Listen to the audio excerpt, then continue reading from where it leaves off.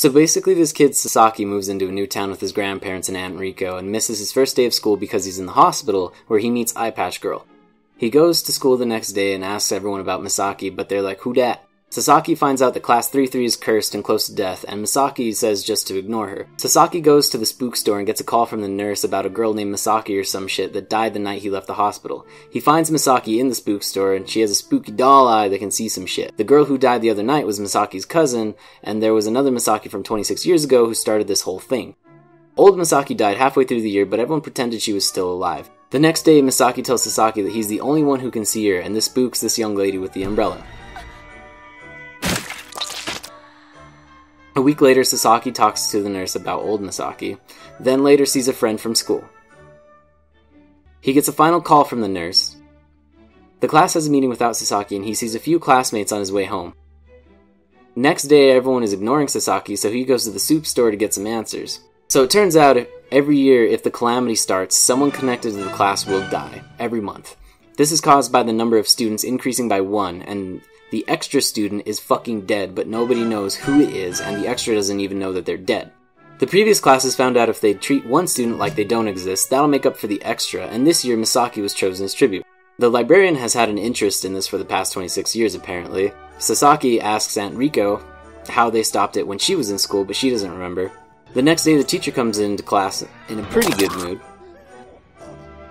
Because the countermeasures aren't really working, Sasaki and Misaki get to be part of the gang again.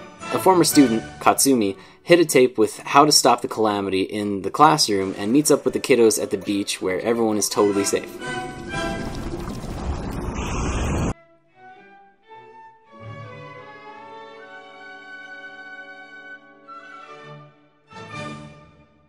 Scoob and the gang later find a tape and hear something about a class trip, but Velma breaks the tape before they can figure out how to stop it. While some kids are trying to skip town, Katsumi fixes the tape for them, and turns out killing the extra is the only way to stop this. The kids decide to go on a class trip, who the fuck approved that by the way, and have a really nice dinner.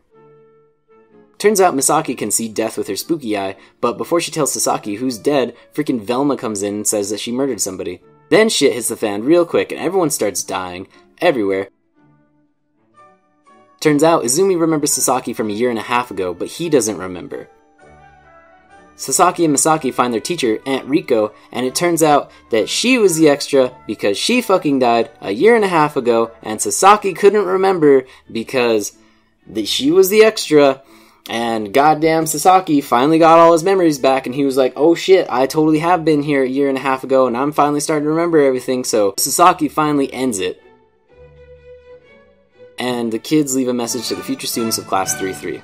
The end. Boom. That's it. That's the whole thing fucking Aunt Riko was dead the whole time. Goddamn fucking all the suspense. For what? For this.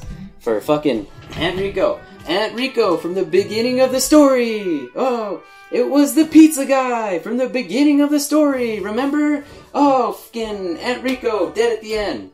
And then it also turns out that motherfucking Misaki, the other one who died, who was the cousin, was actually her twin sister. So, yeah, 10 out of 10 would recommend.